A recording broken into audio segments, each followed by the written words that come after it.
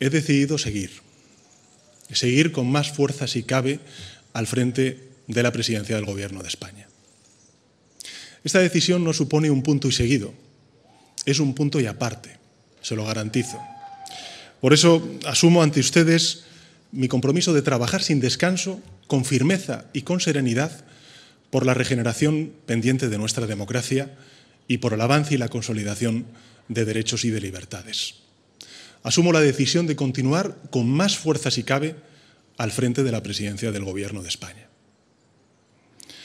Solo hay una manera de revertir esta situación, que la mayoría social, como ha hecho estos cinco días, se movilice en una apuesta decidida por la dignidad y el sentido común, poniendo freno a la política de la vergüenza que llevamos demasiado tiempo sufriendo.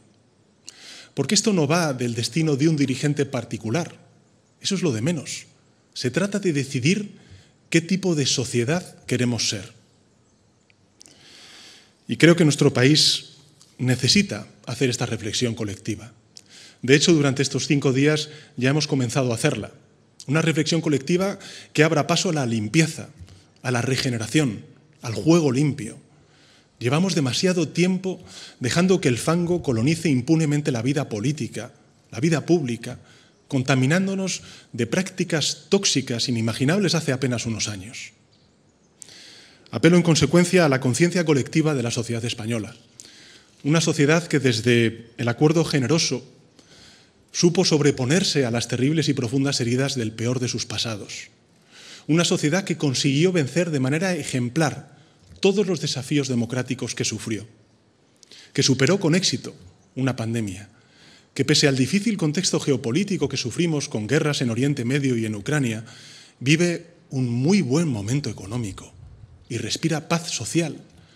Una sociedad que asombró al mundo por su aceptación entusiasta de los derechos y de las libertades, pasando de ser un país oscuro a un referente internacional de libertades y de democracia, de progreso y de convivencia.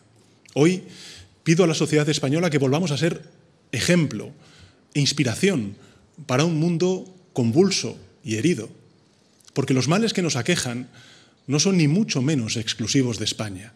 Forman parte de un movimiento reaccionario mundial que aspira a imponer su agenda regresiva mediante la difamación y la falsedad, el odio y la apelación a miedos y amenazas que no se corresponden ni con la ciencia ni con la racionalidad.